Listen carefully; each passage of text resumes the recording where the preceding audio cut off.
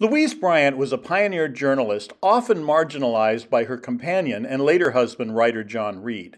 Bryant, who adopted her surname from her stepfather, earned a history degree in 1909 after attending the University of Nevada, Reno, and Oregon.